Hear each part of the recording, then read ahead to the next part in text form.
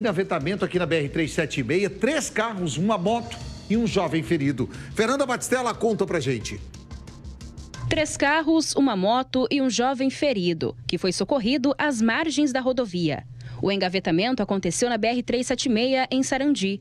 Um caminhão quebrado teria congestionado o trânsito. E isso resultou no acidente. O relato dos, dos motoristas é que o trânsito estava lento. Num dado momento, o trânsito parou, deu aquela estancada.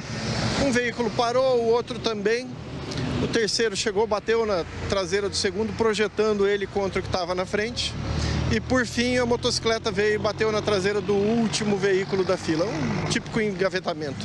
A moto foi o último veículo envolvido no engavetamento. Era pilotada por um jovem de 27 anos, que precisou ser encaminhado ao hospital. A princípio, ela gera cuidados, porque teve uma, um, uma cinemática forte, né?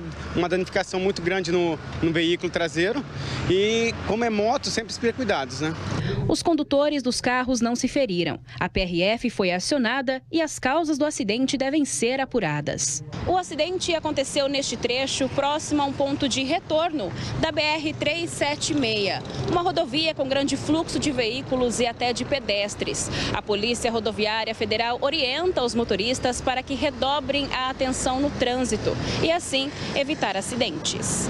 Como o fluxo é muito intenso, às vezes é, uma pista fechada causa um congestionamento enorme e o trânsito pode parar a qualquer momento. É preciso estar, ter bastante atenção para conseguir parar o veículo antes de colidir na traseira de outro. Nesse caso aqui teve um ferido leve ali, e, mas é, é um trecho com um fluxo intenso de pessoas, muitas vezes gente cruzando a pista, muita motocicleta, é um lugar meio complicado de dirigir, é preciso manter o foco.